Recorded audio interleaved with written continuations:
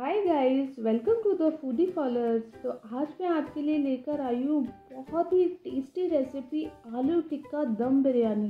बिल्कुल इसका आलू टिक्का मसाला बनाएँगे और इसमें स्मोक देंगे हम कोयले से। बिल्कुल पुरानी टेक्निक से, लेकिन टेस्ट में एकदम परफेक्ट आप एक बार ये बिरयानी बना के खाएँगे तो आप बाज़ार की बिरयानी खाना भूल जाएँगे। तो आइए रेसिपी स्टार्ट करते हैं, लेकिन रेसिपी स्टार्ट करने से पहले हमें सब्सक्राइब करना नहीं भूलें। तो सबसे पहले हम यहाँ कुछ वेजेस ले लेते हैं। तो मैं सबसे पहले अनियन चॉप कर रही हूँ। तो आप अनियन को थोड़ा छोटा, ये देखिए मीडियम साइज़ का मैं इसके तरीके से फ्लेक्स निकाल लेनी है अनियन की। और सारे अनियंस को इसी तरीके से रेडी कर लेना है। देखिए तो अब मैं लेती हूँ शिमला मिर्च। तो शिमला मिर्च को लिया है मैंने और उसे भी मैं इस तरीके से चॉप कर लूँगी।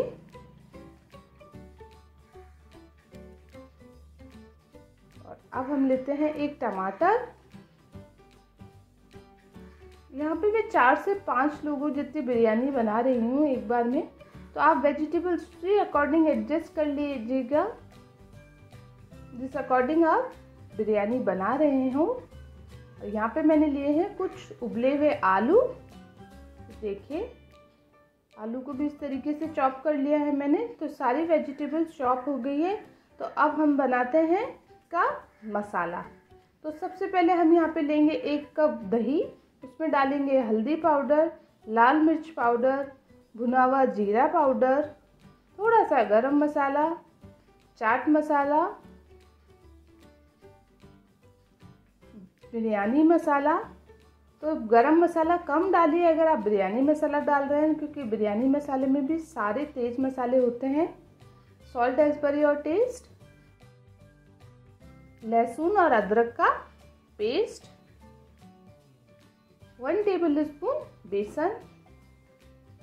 सारे इंग्रेडिएंट्स को अच्छे से मिला लेंगे। बिल्कुल, जैसे हम पनीर टिक्का बिरयानी बनाते हैं, ये आलू टिक्का बिरयानी है, इसमें हम दम भी लगाते हैं, यानी कि स्मोक भी लगाते हैं तो बहुत टेस्टी ये बिरयानी बनती है।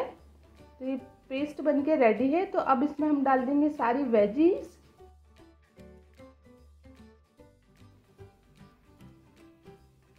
और हमारे उबले हुए आलू।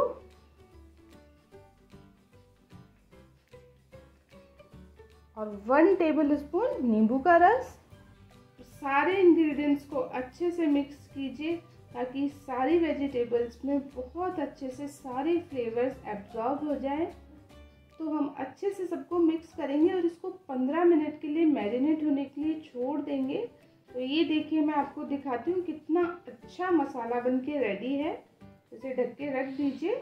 और अब हम स्टार्ट कर देते हैं बिरयानी का मसाला बनाने की।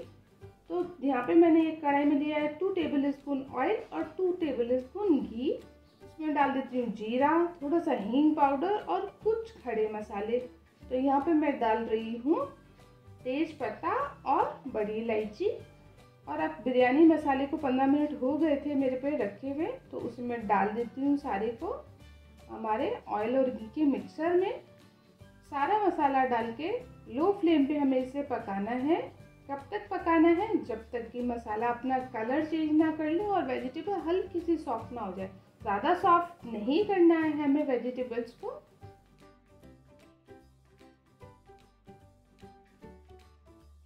तो देखिए लो फ्लेम पे इसे छोड़ दीजिए। धीरे धीरे सारे मसाले अपने कलर देने लगेंगे। तब तक हम ले लेते हैं यहाँ पे fresh coriander and mint leaves यानी कि धनिया और पुदीने की फ्रेश पत्तियाँ। उन्हें बारीक चॉप कर लेंगे।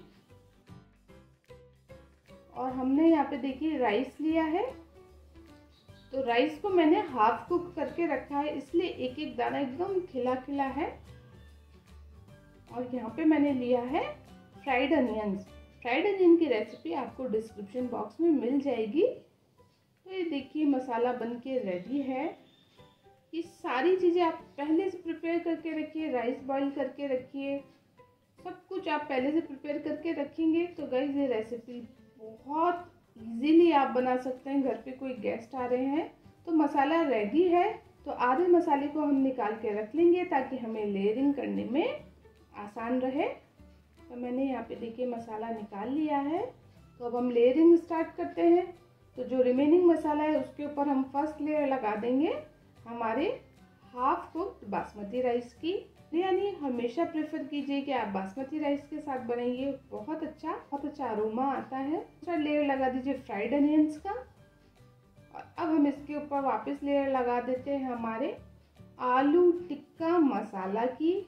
और अब हम लगा देते हैं धनिया और पुदीना की एक लेयर धनिया पुदीना बहुत नेसेसरी गाइस आप कोशिश कीजिएगा ये स्टेप तो बिल्कुल मिस ना करें। वापिस से एक लेयर लगा दीजिए चावल की। और यहाँ पे मैंने केसर सोप्ड मिल्क रखा है, यानी कि केसर को दूध में डाल के छोड़ दिया था गुनगुने में।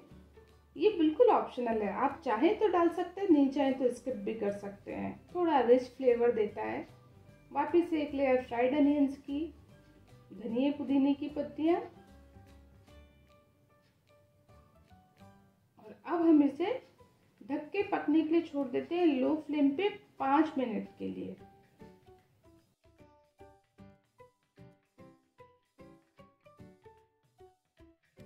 देखिए, पाँच मिनट बाद मैं दिखाती हूँ आपको ढक्कन हटा के। ये बिरयानी ऑलमोस्ट रेडी है ऑलमोस्ट अभी पूरी रेडी नहीं हुई है।